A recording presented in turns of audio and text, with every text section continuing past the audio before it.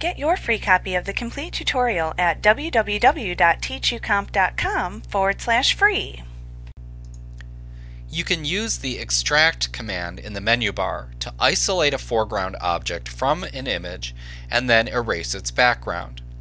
This works especially well on objects that have very fine or wispy edges that your other selection tools have difficulty selecting.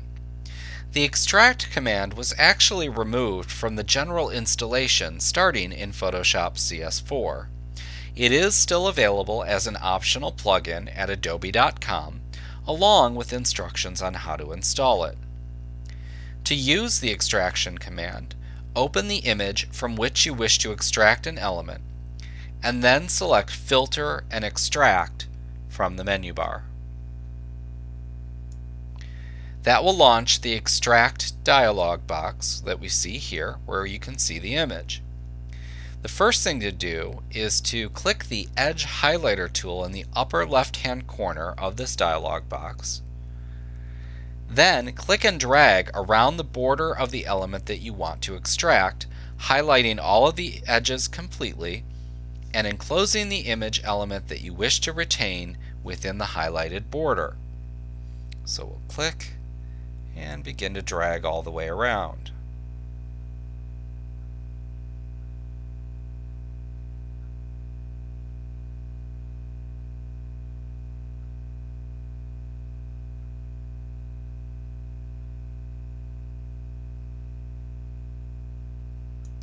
After you've completed that, then click the Fill Tool button, located just below that, and click inside of the image element that you wish to retain.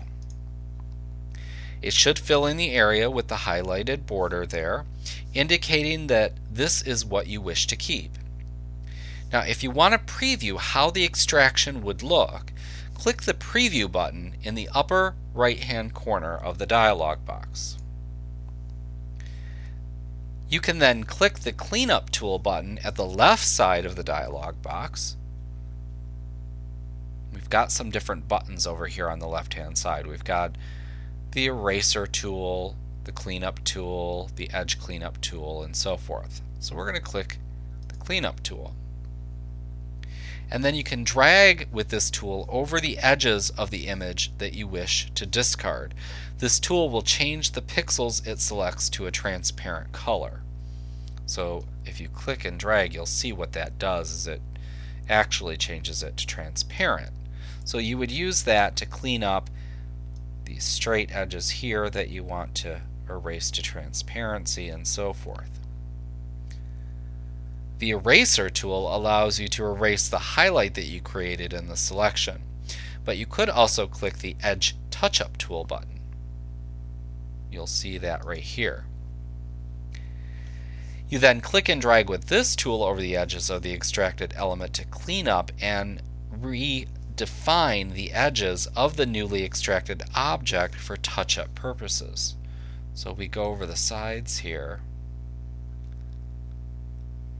that will just touch up all the way around.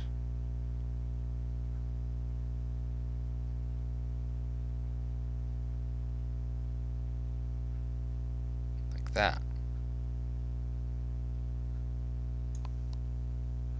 Now, if you need to move the image or zoom the image, note that the hand and zoom buttons are available, located right here at the left. Now feel free to then zoom in on the edges for cleanup purposes. You can really get in there really close and do some fine touch up. And then when you're finished extracting the element, you just click OK to return to the newly extracted element in the image.